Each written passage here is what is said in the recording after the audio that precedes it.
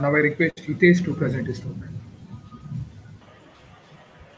All right. Uh, welcome, everyone. I'm not talking about a particular project, but I'm talking more about an initiative. So uh, I'm here to just explain and talk about a little, uh, talk a little bit about Science Hack Day. So uh, Science Hack Day India, uh, or as I like to call it, summer camp for adults. So uh, what is Science Hack Day? Science Hack Day is basically a two-day event, and uh, we have a lot of people coming in from very varied disciplines and uh, try to come up with hack ideas and see what they can build. The entire Science Hack Day lasts about two days, and uh, uh, we build things with each other.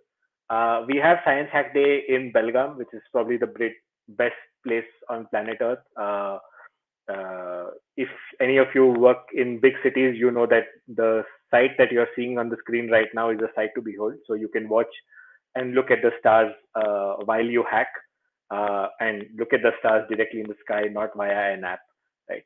And we build things at Science Hack Day, right? We build things that don't have to make sense. We build things just because it helps us um, uh, learn something new when we try to build something new.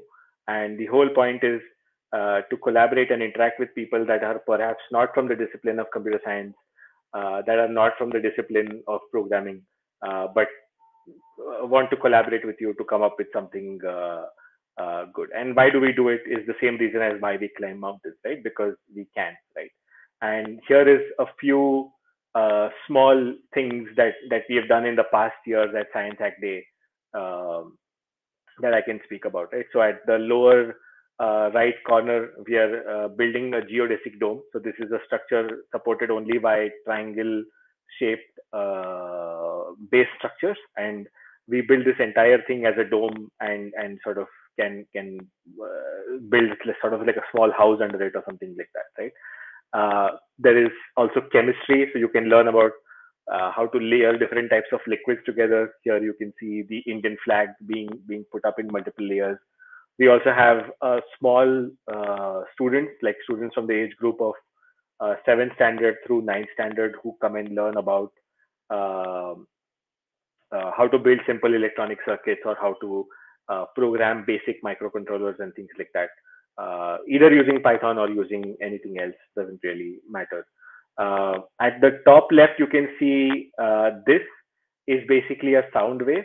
So you're actually looking at a metal tube with holes uh, made into it with LPG gas being passed from one end and a subwoofer being connected on the other end and music being played and that wave that you see is the wave that you normally see in something like winamp right?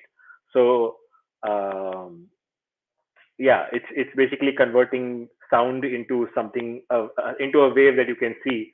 Uh, looks hazardous but very fun. Uh, we also have lightning talks. People build small robots small um, uh, trinkets of electronics for themselves to to learn something new so we are planning to have Science Hack Day in the coming year. Uh, look for it at sciencehackday.in. That's our website. And you can have a look at all the projects that have been done in the past. We also have a capture the flag contest for all the people who are interested in security.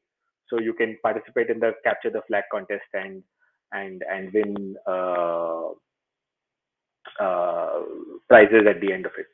So yeah, that's about it. I'll still be hanging out in uh, the hallway track delta. So if you want to talk more about it, I'll be there. Uh, you can hit me up. Thanks. Yeah, thank you, Hitesh.